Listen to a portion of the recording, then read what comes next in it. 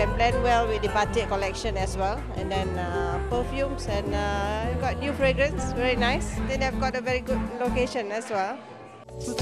Star Hill Gallery,